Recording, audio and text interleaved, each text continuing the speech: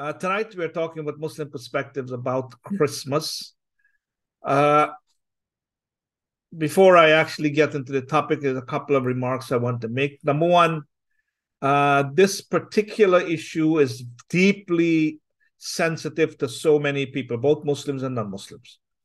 Uh, so, and a lot of our Muslim brothers and our non-Muslim brothers and sisters will fall in a different level of spectrum of, you know, um, different varying perspectives and practice of this particular um, issue. I want to say, first of all, that whatever I say tonight, um, do not take it personal uh, and understand that we're trying to learn. And, and I am giving one perspective, uh, which I think is from the Islamic perspective.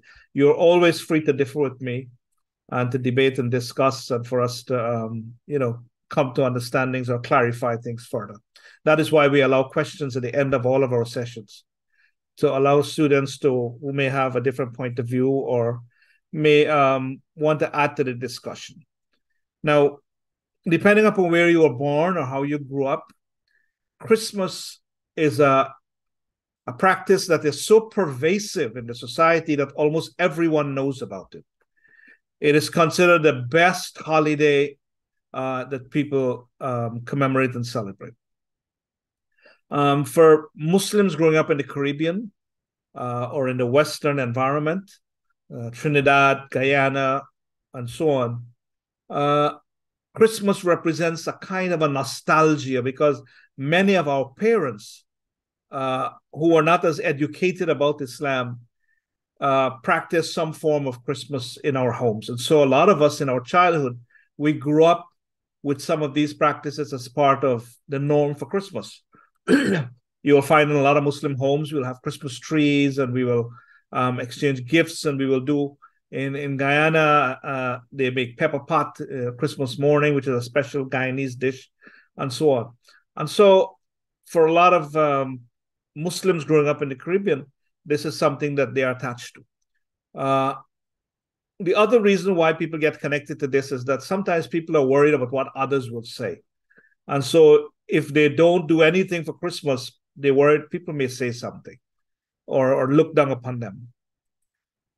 Uh, the pervasiveness of this holiday is such that everyone gets affected. Even our class, we're taking three weeks off. And the reason is really because we want to accommodate people who may be traveling with their families and going out of tongue and all of these different things. So, um, so even our class gets affected by this holiday. Uh, Christmas is presented as a time of fun and family and shopping and, and joy. Uh, and it's uh, goodwill, peace on earth, and goodwill, and those kinds of um, wonderful uh, qualities and feelings. And for a lot of our, our brothers and sisters who are Muslims, uh, it becomes very difficult to uh, keep away from Christmas a lot of times. And so um, we are going to look at it from you know different aspects tonight. And I want to say after tonight's class, if you were one of those who was very big into Christmas, or you know of other fellow Muslims and sisters who are big into Christmas, and you come to the idea that this is not something that we need to do, I don't want you to go out and start harassing fellow Muslims. This is how do you have a, a big tree in your house, or how do you do this, or how do you please don't do that.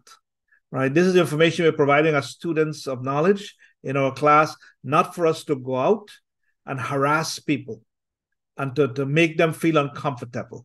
This is not the way you do dawah. And so this is not the way we would go about it. That's why when when the kids are learning karate or one of those martial arts, the teacher will tell them this is not for you to go out and start beating up people.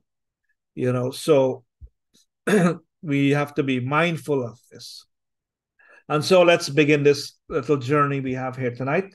Um, so first of all, we want to understand some basic precepts and concepts about our religion, Islam because we always have to start there. What is our foundation for judging anything? Allah is the one who gives us our morals. Allah is the one who gives us our standards. Allah is the one who gives us our values.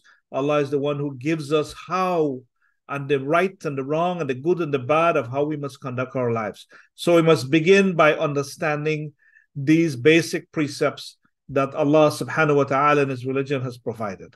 So one of the ayats that Allah mentioned, وَأَرْسَلَ رَسُولَهُ بِالْهُدَى وَدِينِ الْحَقِّ لِيُظْهِرَهُ عَلَى دِينِ كُلِّ وَكَفَى بِاللَّهِ شَهِيدًا It is Allah who has sent His messenger with the guidance and the religion of truth to make it prevail over all other ways of life. And Allah suffices as witness. So here in this verse from the Quran, Allah is telling us that Islam is truth. And there can only be one fundamental truth. You can't have two equally valid truths. So if one group says a and the other one says B, only one can be true. And so Allah is telling us that He has sent His messenger with the guidance and the religion of truth. And so for us, Islam represents truth, which means anything that contradicts with Islam, we reject or we don't participate in it. The second thing that I want you to know is uh, the position of associating partners with Allah is one of the greatest act of oppression and transgression against Allah. Luqman, when he talked to his son, he says, Ya bunayya la tushrik billah. Inna shirka la zulmun azim. That, oh my son, do not associate anything with Allah, but verily that shirk or associating partners with Allah, zulmun azim, translated as a terrible wrong, but it is really literally means it is the greatest oppression. Right? Zulm is oppression. and so Luqman is letting us know, and Allah is letting us know in the Quran that shirk and associating any partners with Allah is considered one of the greatest. Uh, that's the only sin that Allah, if you don't ask for forgiveness for, that Allah will not forgive you for it. Other sins you commit and you forget to ask for forgiveness, Allah may forgive you for it, even though you didn't ask. But shirk, you can't go to Allah with this. Thirdly, when the Prophet, when the Quraysh came, uh, the Prophet Sallallahu you know, the Quraysh, he was preaching the Islam, and the Quraysh wanted to find a way to work with the Prophet. And so they came to him and they said, you know, we need to really find a way that all of us will be happy. So, how about we make a deal where we will worship your God for one day, and then you worship our God for one day, and everybody will be happy. You know, so, and then Allah revealed the Quran in this surah قل يا أيها الكافرون لا أعبد ما تعبدون ولا أنتم عابدون ما أعبد ولا أنا عابد ما بدتم ولا أنتم عابدون ما أعبد لكم دينكم ولي دين and Allah instructed the Prophet, say, O disbelievers, I don't worship what you worship, nor do you worship what I worship, nor do I serve what you serve, nor do you serve what I serve. You have your way, and I have my way. In other words, the Prophet ﷺ was unable to make a compromise with people who are worshiping other than Allah subhanahu wa ta'ala. There was no compromise. It's not that, you know, I can just compromise, I worship your God to make peace. No. He came with a clear message that this is not deserving of Allah subhanahu wa ta'ala. And it's one of the rights of Allah that you should worship Him. And so this was rejected. And when the Muslims conquered Mecca, you know, after they chased him out of Mecca, uh, 10 years he was in Medina, and then uh, finally the Prophet ﷺ returned to Mecca and they conquered Mecca. At that time, the Prophet ﷺ, he didn't seek revenge, he forgave everybody. But one of the things he did was he cleared the house, the Kaaba, of all the hundreds of idols that they had therein. There was no compromise with this. He didn't say, well, you know, the people there are worshiping idols. You know, how are we destroying their religion? You know, maybe we should build a, a small shed or a small hut or a small temple where they could still continue to worship their idols. No, it was an uncompromising decision. All the idols need to be removed. This is the right of Allah, and we are not accommodating that. So he was very strong with this when it comes to this. And then Allah subhanahu wa ta'ala mentions as well in the Quran that when truth has come, falsehood will vanish, it will be van- vanquished away. For falsehood is bound to wither away. In al batila kana zahuqa, that when, when truth comes, batil goes away. And so we we do believe that we cannot mix truth with falsehood.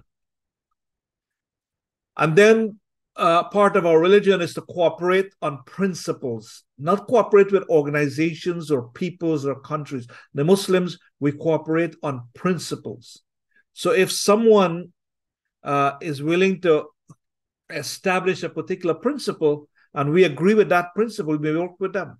Even though we don't agree with their lifestyle, their religion, or whatever, but on the issue of the project that is based on a particular um, theme that both of us agree with, we can work with other groups.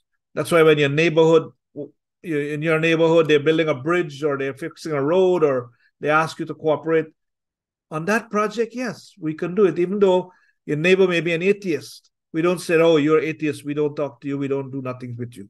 No, we always cooperate on principles.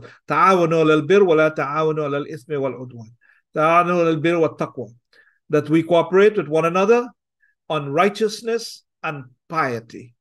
And we don't cooperate with one another in sin and hostility.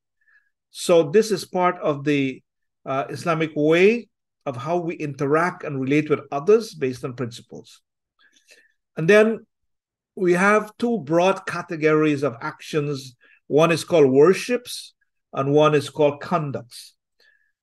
Non worship, if you may want to call it that.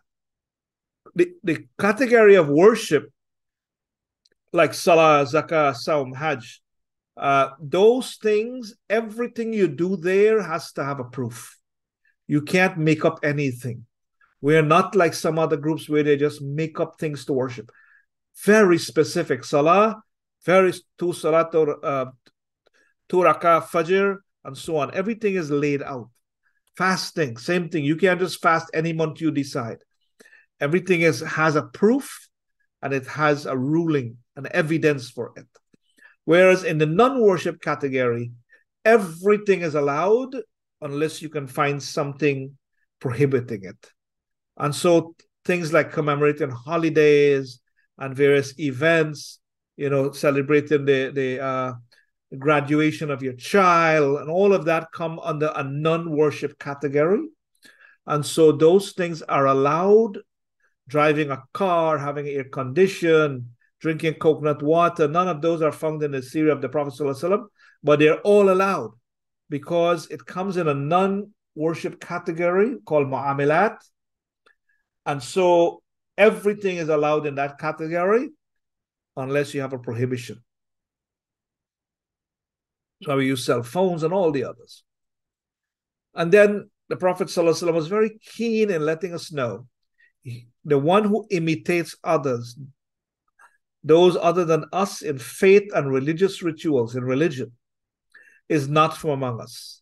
Do not imitate the Jews and the Christians. He who imitates any people in their actions is considered one of them.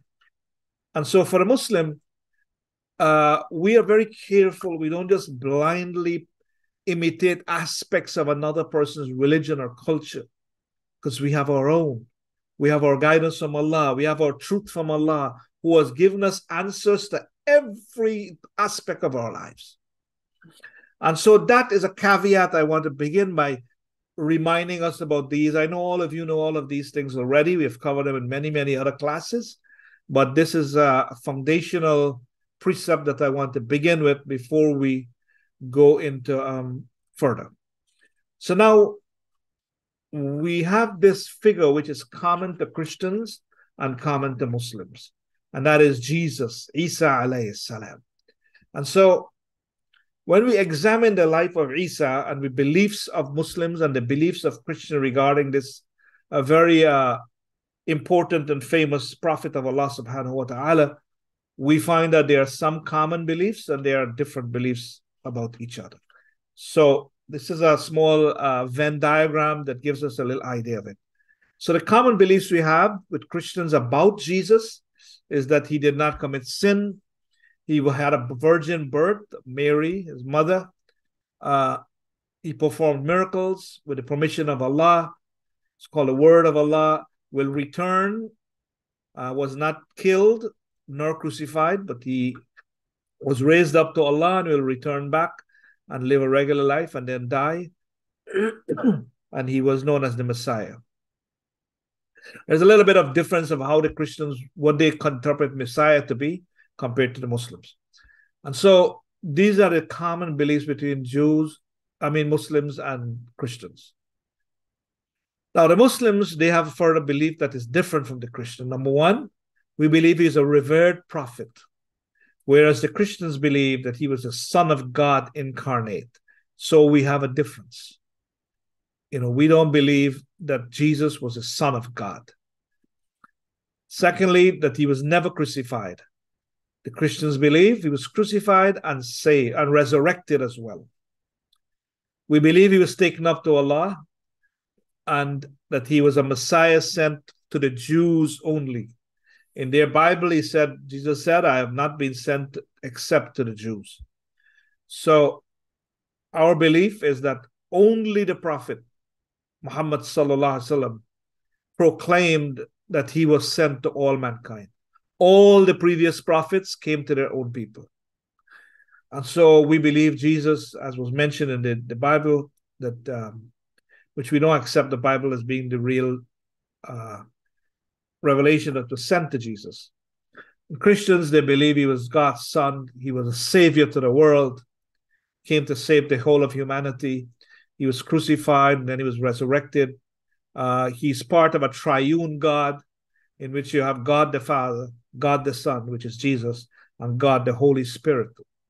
And so they believe that these three gods or entities are three, but they are one at the same time. And Christians always find it difficult to explain this of how can something be three at the same time, independent entities, and yet be one entity. Um, and so sometimes they say it's a mystery. Sometimes they try to use an egg as a way of illustrating it. You see, the egg has the yolk, the shell, and the whites. And so it's three, but it's only one egg um, and stuff like that. And then the Messiah for the whole world. They believe that he came for the whole world. So these are the basic uh, common beliefs and different beliefs between Jesus and Muslims. Allah subhanahu wa ta'ala mentioned in the Quran this beautiful verse, O people of the book, which is the Jews and the Christians, do not exceed the limits in your religion and do not say anything except the truth about Allah. Verily, the Messiah, Jesus, son of Mary, was only a messenger of Allah and a fulfillment of Allah's word, which he sent down to Mary and a mercy from him. So believe in Allah and his messenger and do not say they are three. Desist. It is it will be better for you Verily, Allah is the only is only one God. Far is it from his holiness that he should have a son. To him belongs whatever is in the heavens and whatever is in the earth. And Allah is sufficient as a guardian. What a beautiful verse, bringing the whole matter in a, in a perspective that is truly wonderful. And so now we'll begin to look at the issue of Christmas. So we'll start by looking at what the Christian's perspective on Christmas is, or how they um, understand Christmas. Right away, we have problems in that, for some strange reason, you have to understand what happened with Christianity, in that the Christians they were being persecuted by the Roman, who was a superpower at that time and the Romans, they uh, they persecuted the, the, Christians and they couldn't find a way to, to make any ground until one of the prominent Romans, Constantinople, accepted Christianity. And so, as a ruler now, he was able to give power to the Christians. And so, they, for the first time, they had an opportunity to bring their religion into the public arena. But a lot of compromises were made because Constantinople, coming from a pagan background, of believing in idols and, and worshiping different kinds of things, tried to to cement the two the Christian teachings and the, the pagan teachings and tried to fuse them into one uh, cohesive mixture that everybody will be happy.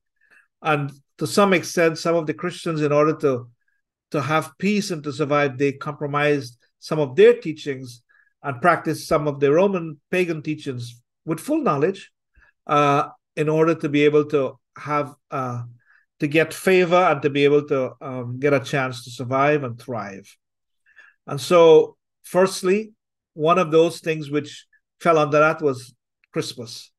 In the Gospels, there is no date of Jesus' birth. You know, the early Christians, they didn't had any interest in the birth of Jesus. They didn't celebrate, they didn't commemorate, they had no interest.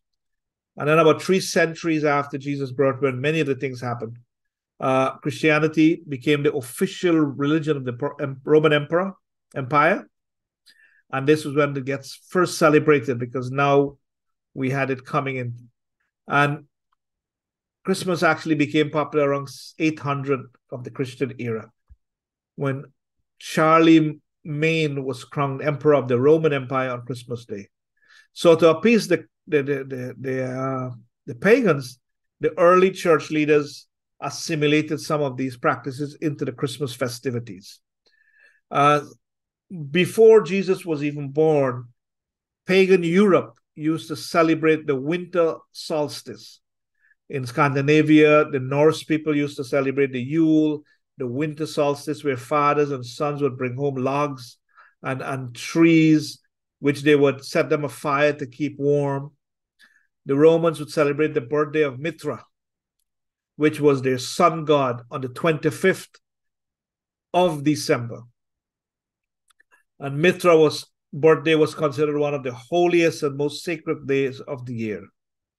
And according to Scottish anthropologist uh, James Frazer, he said, you know, it was the custom of the heathen to celebrate on the same 25th of December the birthday of the sun, to which they kindle lights in a token of festivity. And so uh, the Christians begin to slowly adapt, making that particular holiday um, the birth of Jesus so they could have one day in which everybody could celebrate. Right, this monk Dionysius, he fixed the date as 25th of the birthday of Jesus. He said, Jesus' birthday is 25th. So now both the pagans and the Christians could have a unity and they all could join in the festivity. And so began this picking this date of 25th of December. But we learn from the Bible itself that said that Mary gave birth to her firstborn, a son. He, she wrapped him in clothes, cloths, and placed him in a manger because there was no guest room available for them and they were shepherds living out in the fields nearby, keeping a watch over their flocks at night. So here we see that Mary, the Bible is telling us that Mary gave birth to him on a manger, which uh, usually 25th of December is very cold in Bethlehem. It's around uh, 39 to 41 degrees, very cold, and it rains about 11 days in the December in that particular region it would be inconceivable to think that Mary would place this baby in that cold environment uh, in a manger at that time of the year. And so Christian scholars have opined that this could not have been the real date when Jesus born was born. Also, it was reported that Mary was, when she was pregnant, she traveled like 100 miles from Nazareth to Bethlehem, which is inconceivable for her to do that in cold weather as a pregnant woman. so it's highly unlikely that that was the case. Some of the Christian scholars have said it's most likely that he was born around late September, which is the time of the annual feasts uh, when traveling like this was much more common. And we also learn from the Quran, Allah subhanahu wa ta'ala says, and so she conceived him and withdrew with him to a remote place. and the pains of childhood drove her onto the trunk of a palm tree. She said, Oh, would that I had died before this and had become a thing quite forgotten. Then he called her from beneath her, Grieve not. This was the angel. Thy Lord has placed a rivulet below thee, and shake towards thyself the trunk of the palm tree. It will cause ripe dates to fall upon thee. And we, of course, know that ripe dates don't bear on those trees in Palestine at that time of the year. So it's more likely that Jesus, the, the best guess that they have, he was born between July to October, somewhere around there, right?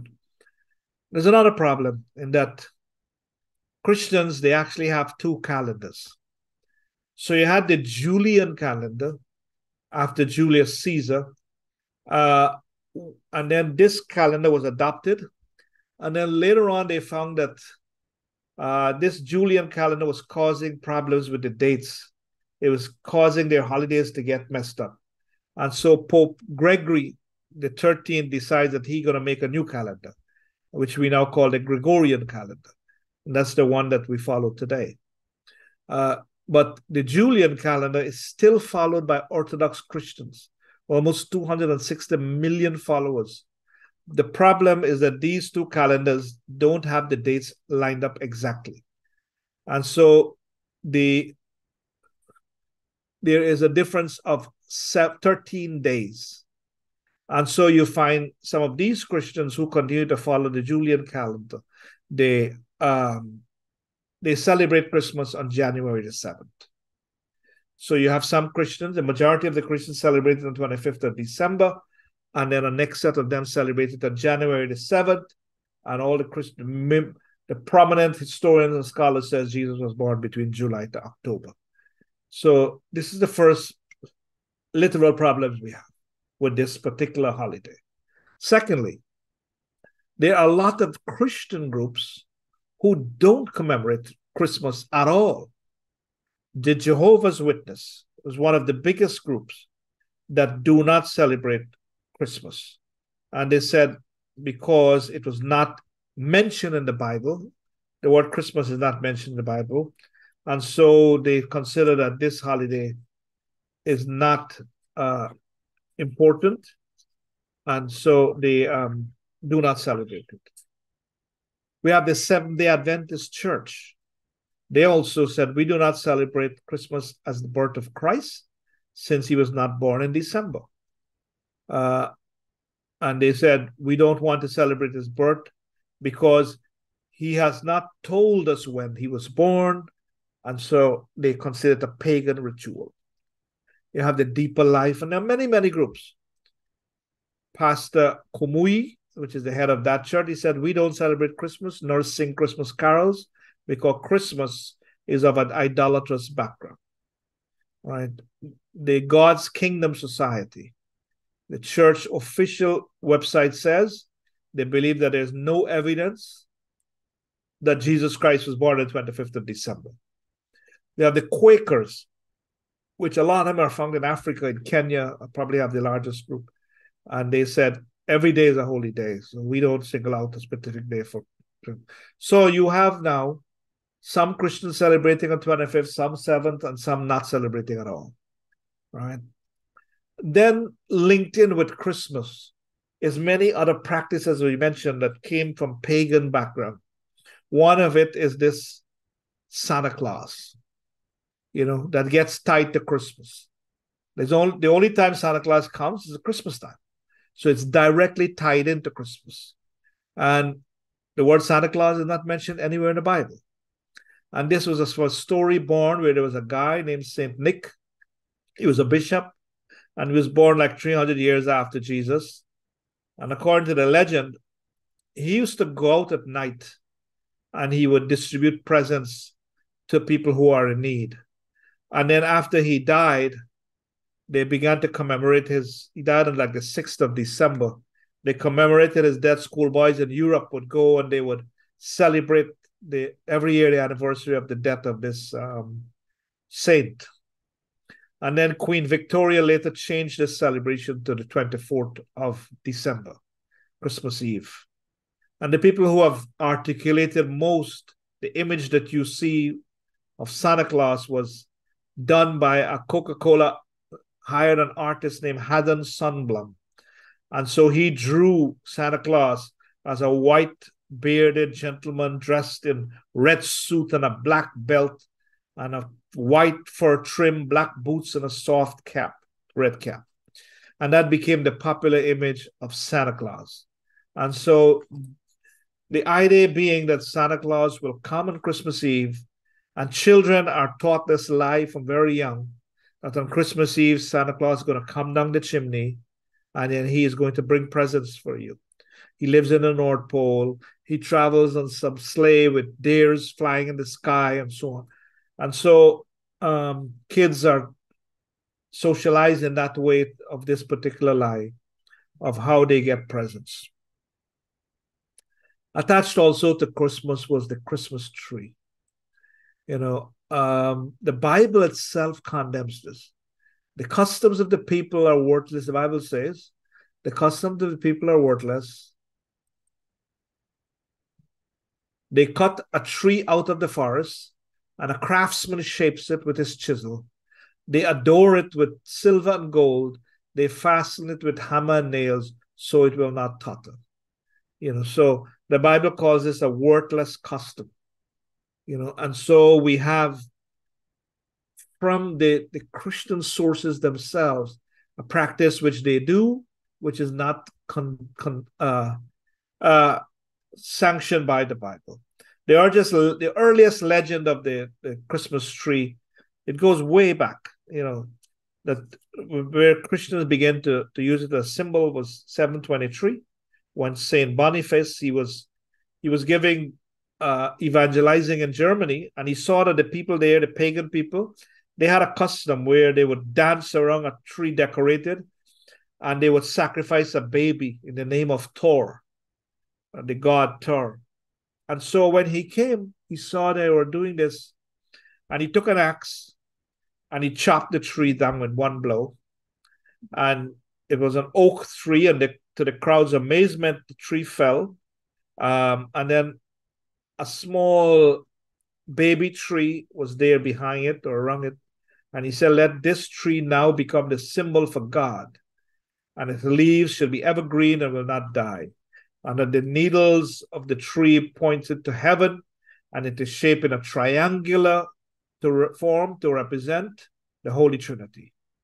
And so what he did was that he he took this pagan practice and he tried to make it become a symbol that will represent God, the Trinity, and, and make it a, a, something special for the people. And then later on, whilst they're doing this, they used to they place a star symbolizing the star of Bethlehem on top of this tree. Um, so right now, when people have Christmas, you you go if you go take a little drive, you will see in front of Lowe's or in different places, the guys who sell Christmas tree, they are camped down there for two weeks, you know, until Christmas. From Thanksgiving to Christmas, they build a huge tent and they have all these trees there they have a little RV that they live in literally and they sell trees. You know, so um, it is a widely practiced um, that you cut down this tree and then you decorate them in your homes. It truly has nothing to do with Christian faith and belief. Added to that, there was another practice which is popular at Christmas time, and that is to hang stockings. Um, this was, you know, um, a practice that went back as far as 1823, and literally, um, the the idea was that stockings would be hung over the fireplace, and that's, you know, Santa Claus would come and stuff those stockings with with presents and so on. And the the, the story behind it, or the, the alleged story, is that there was a poor man um, and he had three daughters. He was worried about them because he didn't had he could hardly make ends meet. He used to worry whether they would get married and who they would marry to. And Saint Nick, who used to wonder, as we mentioned before, he found out that the man was, you know, very poor, and so he slid down the chimney of the family house and he filled the, the stockings of the girls. The father had said, Look, just put up some stockings, maybe God will bless us and you know and bring something for us. So they had the stockings. So when he went, he found the stockings and he put placed some gold coins into the stockings. And so um, when the girls woke up, the father, they were like amazed uh, to get all of this gold in their stocking and they became rich. They were able to wear, they were able to um, have a better life. Um, later on, this culture gets changed to not stockings. So people now stock mostly because in wintertime, fresh fruit was hard to get. And so the most popular fruit that was put in the stockings was oranges because they look like gold coins. Um, and they were placed there. Um, I don't quite know what America now does in terms of this particular practice. Um, I know now this has been replaced with socks and different kinds of um, things, but this is all part of that festivity. So again, a lot of the origin of the practices of uh, this holiday is not based on Christian values or Christian origin. Uh, and so we as Muslims now now comes Christmas time and we encounter this holiday. So, what are we to do and how are we to deal with it? Now, first of all, we are not allowed to participate in any kind of activity. As we said, we participate based on principle. And activities that are based have a shirk or idol- idol- idolatry based practices we're not as Muslims allowed to participate in them. As I mentioned in the beginning of the topic, this is one of a very big sin, and we have to be very careful we don't get involved in this. We must protect our faith and values at all costs. And we, in order to navigate the relationship with our Christian brothers and sisters, you know, we have to be very careful. How do we do that? Um, but one of the things that we must know, we should try to keep away from the Christmas environment as much as possible and keep the relationship with our non Muslim friends and families as much as we can without compromising our values. And that's not an easy thing to do. Right. And we should begin to educate non Muslims just as they don't participate in our holidays. You know, they don't come out and Eid day and all of that you know so we need to educate them that we have our own religious holidays you know and it's not and not participating in christmas doesn't mean that we are rejecting their values or we are antisocial you know so we've got to navigate that very tough thing because they are the majority in the society. And every time you have a minority set of people this is always the problem. The dominant culture dictates the order of the day. And so the the lesser culture finds it sometimes very difficult to um, adopt principle stance. Uh, in order to help our young people, the Muslim community should organize alternative programs, not celebrating Christmas, but to gather the community into meaningful, maybe fun oriented programs for the youth so that they can come to the masjid and be in an environment that is not um, based on shirk. Now, at Christmas, we have this issue of gifts because one of the things we'll get, we'll receive gifts our Christian brothers and friends will give us gifts. The general principle, according to our scholars, is that we can receive gifts from the Muslims in general. And we have many, many, many incidents, instances of uh, the Prophet receiving gift. You know, Caesar offered a gift to the Prophet and he accepted. Caesar offered a gift and he accepted. Other kings offered him gifts and he accepted them. Ali accepted gifts from non-Muslims on the day of their festivities the day of Nowruz, he accepted a gift. Aisha accepted gift from the Zoroastrians, was a kind of a food, was a vegetarian type food. So it is permissible, as per our scholars, that we can accept gifts from non-Muslims, even on their day of festivity. And the basic principle is that it's permissible to accept that. Uh, accepting the gift is an act of kindness and it, it builds a relationship. Now, after getting the gift, you take the gift, it turns out that the gift is haram in nature. For example, sometimes people will give you alcohol, you know, a bottle of champagne or something. Um, or you may have gift in which you get food that is haram food, right? Um, or you get a gift in which you have like a cross with Jesus on it or something like some gift which and according to our religion is not considered halal, then you should try to find a way to get get get rid of that gift. Don't go back and give the people the gift to embarrass them. You know, you accepted a gift, um, but you cannot use it because of your religious values. So we should try to dispose of it. About giving gifts, it is also permissible for us to give gifts to non-Muslims, to anybody. You know, giving gifts is one of the recommended things in Islam that we should try to build relationships. You know, and so Omar, for example, he gave a, a suit to his mushrik brother in Mecca. You know, so it is not um but what the caveat is is that we should not give the gifts on the day when they're having their celebrations because it may be interpreted that I'm, we are doing it as part of that celebration. So the scholars draw a line of saying, don't give them on the day itself, but you can give gifts generally. Greeting, that's another thing that we have to deal with, in which people come up to us and say, Merry Christmas. Uh, and so if we answer back by saying Merry Christmas, then we are encouraging or condoning such. And so the scholars have mentioned that we should uh, find other ways to to greet. Don't just ignore the greeting, but either change the topic or say, "May God keep you guided and safe for the season," or other ways of, um, you know, saying uh, something that does not show that you're endorsing the celebrating of Christmas. Then